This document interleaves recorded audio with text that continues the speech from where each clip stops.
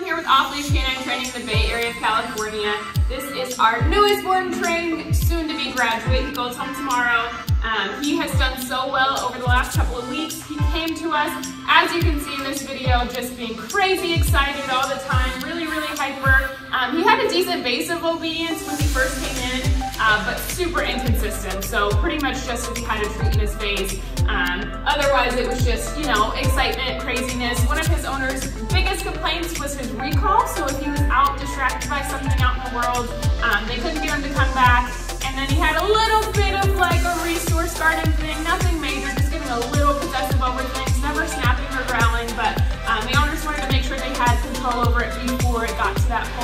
Um, otherwise, just a really sweet, happy Goldendoodle guy that just was pretty excited. So we have some consistency now. He can do all of those obedience despite the level of distraction, and he did fantastic. Stay tuned to see his after video.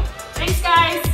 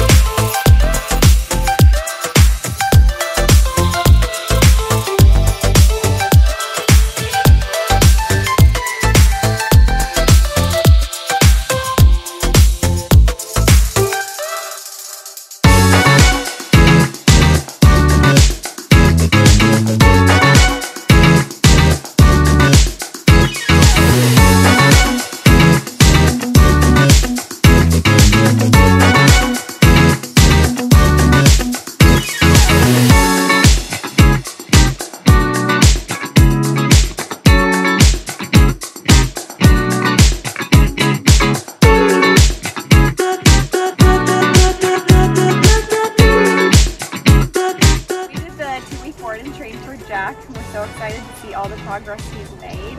The biggest thing for me was going out on walks and not having any control over him and we're super excited to see him in a heel and just walking right next to us. Yeah, and we absolutely loved all the updates that they gave us every day. Um, yeah, we were able to see our guy, so um, yeah, we're really excited to get him back.